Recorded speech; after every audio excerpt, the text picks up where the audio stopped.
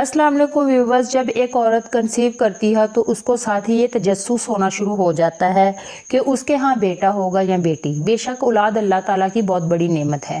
फिर चाहे वो बेटा हो या बेटी, लेकिन ये भी नेचुरल है कि जैसे ही कोई औरत कंसीव करती है तो साथ ही ये तजस्स भी होता है कि मेरे यहाँ बेटा होगा या बेटी।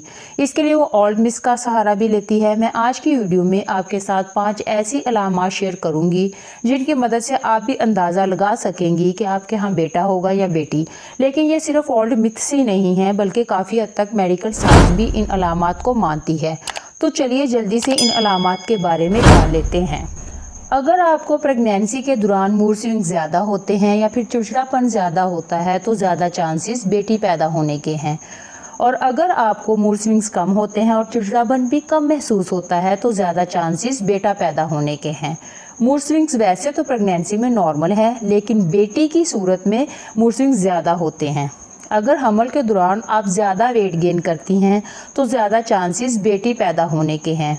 और अगर आप प्रेगनेंसी के दौरान ज़्यादा वेट गेन नहीं करती, यानी आपका वज़न ज़्यादा नहीं बढ़ता तो ज़्यादा चांसेस बेटा पैदा होने के हैं। अगर आप हमल में यूरिन टेस्ट करवाती हैं और आपके यूरिन की पीएच अल्कलाइन है तो बेटा पैदा होने के चांसेस ज़्यादा हैं। और अगर यूरिन की पीएच एसिडिक है तो ज़्यादा चांसेस बेटी पैदा होने के हैं। अगर हमल के दौरान आपके बच्चे की हार्ट बीट 140 से कम है तो ज़्यादा चांसेस बेटा पैदा होने के हैं। और अगर आपके बच्चे की हार्ट बीट 140 से ज़्यादा है तो ज़्यादा चांसेस बेटी पैदा होने के हैं। अगर हमल के दौरान आपके बालों की ग्रोथ बढ़ गई है और बाल सिल्की और शाइनी हो गए हैं तो ज़्यादा चांसेस बेटा पैदा होने के हैं। और अगर आपके बालों की ग्रोथ आगे से स्लो हो गई और आपके बाल डल और फिजी हो गए हैं तो ज़्यादा चांसेस बेटी पैदा होने के हैं।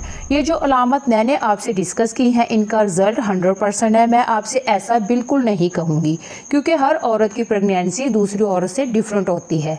लेकिन ज़्यादातर औरतों में ये अलामत पाई जाती हैं, ऐसा देखा गया है। इसलिए 70 टू 80 परसेंट ये अलामत करेक्ट हैं। और इन अलामत को सिर्फ़ फ़न की हद तक महदूद रखें। बाकी अल्लाह ताला की ज़ात बेहतर जानती है और फिर चाहे वो बेटा हो या बेटी, क्या फ़र्क पड़ता है? आप बहुत लकी हैं कि अल्लाह ताला ने आपको औलाद जैसी नेमत से नवाजा है और एक बार उन लोगों के लिए दुआ ज़रूर करें जो औलाद जैसी नेमत से महरूम हैं, क्योंकि अल्लाह ताला हामला की दुआ बहुत जल्दी सुनते हैं। और मुझे भी अपनी दुआओं में याद रखिएगा। अल्लाह हाफिज़।